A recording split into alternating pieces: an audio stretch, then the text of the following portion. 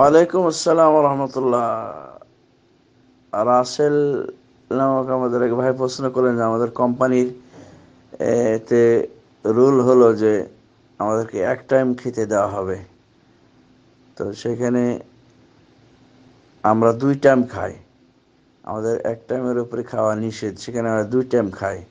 একটা কথা হলো যে কোম্পানি আমাদের সঙ্গে যে কন্ট্রাক্ট করে সেখানে এ কথা স্পষ্ট লেখা যে আমাদের আকামা খরচ তারা দিবে। কিন্তু দেখা যাচ্ছে কার্যত আমাদের কাছে তিন হাজার রিয়াল কেটে নিচ্ছে তারা।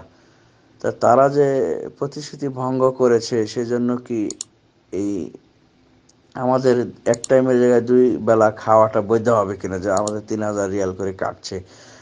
দেখুন, আলহামদুলিল্লাহ সাল্লাহ সাল্লাম বারক আলা নবীন মোহাম্মদ ওয়ালা আলী ওসাহাবি আজমাইন।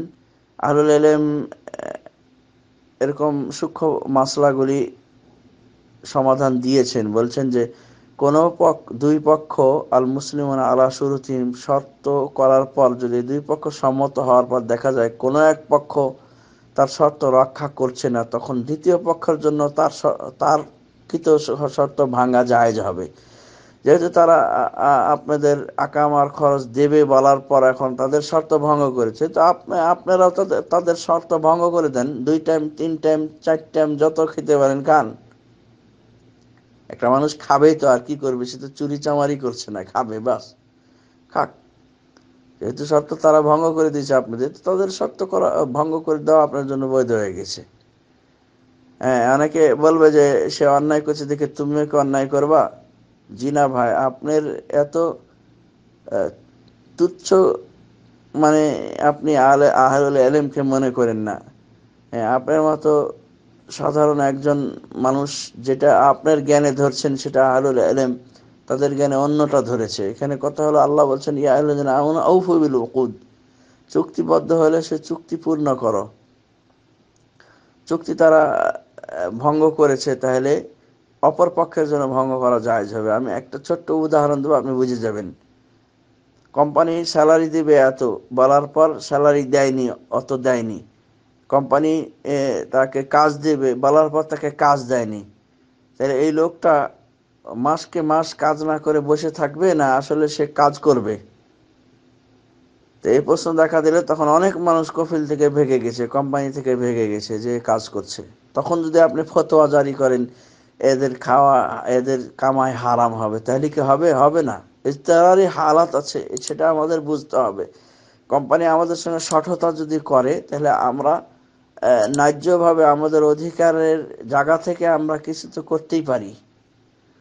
তাহলে তারা আপনাদেরকে আকামা দিবে বলে আকামা না দিয়ে এখন আপনাদের তিন হাজার করে রিয়াল কাটছে। এখানে কিছু চারটিখানি কথা? তিন হাজার রিয়াল? তা আপনারা এক জায়গায় দুই বেলা কেন? তিন বেলা যদি খেতে পারেন, খেয়ে উসুল করার চেষ্টা করেন। কারণ আপনারা দুটো টাকা জোগাড় করে আপনারা, আমরা দুটো টাকা কামাই করে এটা দেশে পাঠাবো সন্তান সন্ততিকে খাওয়ার, খাওয়ানোর জন্যই তো। আমরা তো গরিব মানুষ, আমরা তো শখ করে খুব একটা বেশি বিদেশে আসি না আমাদের অধিকাংশ তো আমরা গুরবতী দূর করার জন্য মানে আমাদের দারিদ্র সীমার নিচে আছি, দারিদ্রতা দূর করার জন্য আমরা বিভিন্ন কোম্পানিতে চাকরি করছি বা সৌদি আরবে বেশিরভাগ মানুষ এসেছি। তাহলে এলএম এটাই বলেছেন যে, এক পক্ষ যদি চুক্তি ভঙ্গ করে দেয়, সেক্ষেত্রে অন্য পক্ষের আর গোনা হবে না যে সে চুক্তি ভঙ্গ করল কেন? তো দেখা যাচ্ছে যে, প্রথম পক্ষ চুক্তি ভঙ্গ করেছে, দ্বিতীয় পক্ষ চুক্তি ভঙ্গ করলে আবার প্রথম পক্ষ চুক্তি ভঙ্গ করা যায় ছিল। যদি চুক্তিতে ঠিক থাকে প্রথম পক্ষ, দ্বিতীয় পক্ষ, দেখা গেল কোম্পানি কিন্তু কেউ যখন বের হয়ে যায়, আরও বেশি কামাই করবে এই লালচে তখন এই লালসায়, তখন প্রথম পক্ষের জন্য আবার জায়েজ হয়ে যায়, তখন সে হুরুব মেরে দেয় বা মাতলুব কেস দিয়ে দেয়। তখন আবার আমি সেটাকে শরীয়তের দৃষ্টিকোণ থেকে ভুল দেখি না। কোম্পানি তার হক যেটা সেটা সে করেছে। কারণ কোম্পানি তাকে যা যা দেওয়ার কথা তাই তাই দিয়েছে, তারপরে সে আরও বেশি উন্নত বেতনের আশায় সে পালিয়ে যাবে। এটা তো সে চুক্তি ভঙ্গ করল দ্বিতীয় পক্ষ। তখন প্রথম পক্ষরা আবার চুক্তি ভঙ্গ করা ঠিক হবে। তখন তাকে হুরুপ দিয়ে দেওয়া ঠিক হবে। বা একটা লোক কাজ করে না, ভাদাই ভাদাইমা আয়সা কাজ করে না, বারো ঘণ্টা, দশ ঘণ্টা তার সঙ্গে চুক্তি, সে প্রতি দুই দিন, একদিন অন্তর অন্তর, একদিন করে ঘুমায় থাকে। তাহলে এটা কোম্পানির লস হচ্ছে, তখন কোম্পানি তাকে বেতন কমিয়ে দিতে পারে। নানান ধরনের তার প্রতি ব্যবস্থামূলক কোনো পদক্ষেপ নিতে পারে।